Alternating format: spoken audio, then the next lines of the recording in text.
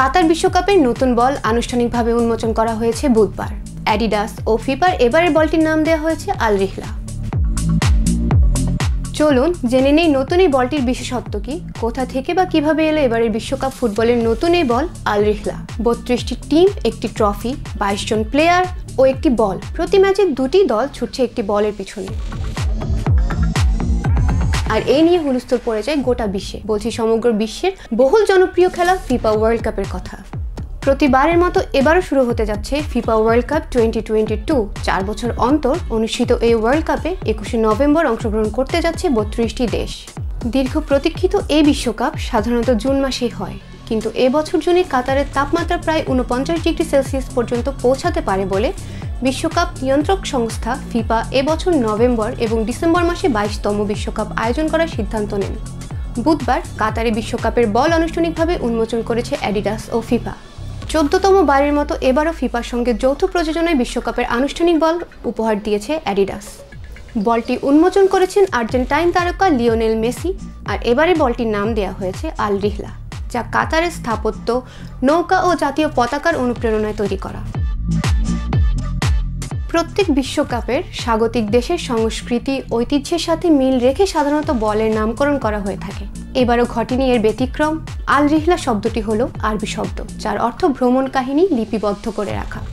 বিখ্যাত পর্যটক ইবনে বতুতার বায়োপিক নিয়ে লেখা বই আল রিহলা নাম থেকে নামকরণ করা হয় এবারে বিশ্বকাপ বলের মেরুন ও নীল রঙের প্রাধান্য লক্ষ্য করা যায় এই বলে। প্রস্তুতকারক প্রতিষ্ঠান অ্যাডিডাস এবং ফিফার দাবি এর আগে যত বল তৈরি করা হয়েছে, এই বলটি তার চেয়ে বেশি গতিতে ছোটে।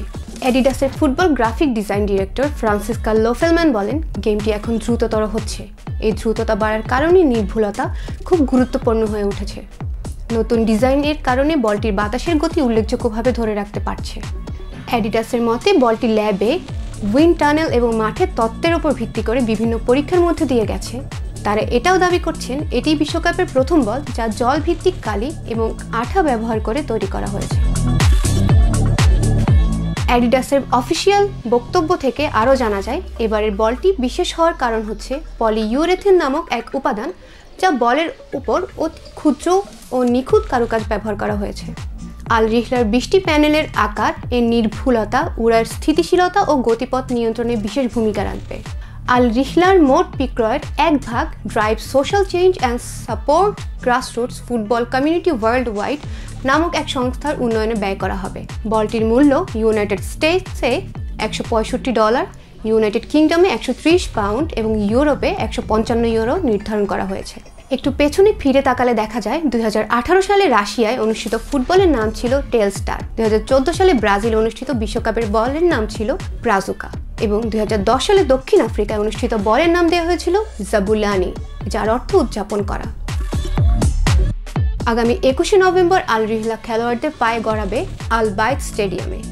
ফুটবল প্রেমীদের জন্য এখনও সময় আছে ঝটপট টিকিট কেটে সশরীরে খেলা উপভোগ করার।